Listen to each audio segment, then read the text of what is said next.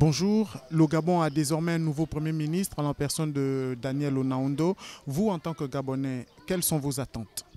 Euh, Je crois que la présence de Daniel Onaondo au gouvernement est une bonne chose parce que c'est un homme de rigueur. Le problème des Gabonais, actuellement, c'est le social, la vie chère. Le Gabonais souffre. Pour le Gabonais d'en bas, c'est avoir un logement décent, c'est euh, manger euh, à sa faim, c'est se soigner et euh, voilà, je crois, quand on a déjà atteint ces euh, trois euh, paliers, là, je peux dire que non, on vit bien. Se soigner, manger et bien dormir. C'est un défi relevable?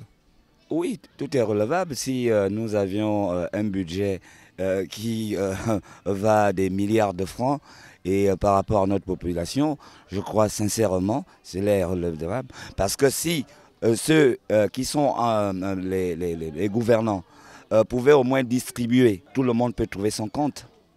Pourvu que dans ce gouvernement, des priorités, le social, l'économie, d'abord, le social, hein, et les finances, n'est-ce pas, que les, audits puissent être établis dans tout, tout ce qui relève de l'économique et du social pour qu'on sache naviguer. Merci d'avoir consulté l'opinion publique